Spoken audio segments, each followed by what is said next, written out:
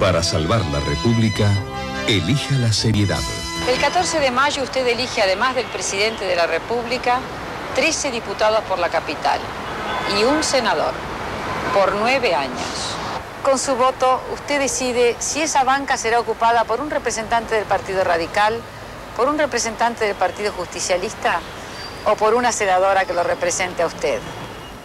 María Julia Senadora, porque Buenos Aires es de capital importancia para el futuro del país. Venga, entremos juntos al Senado.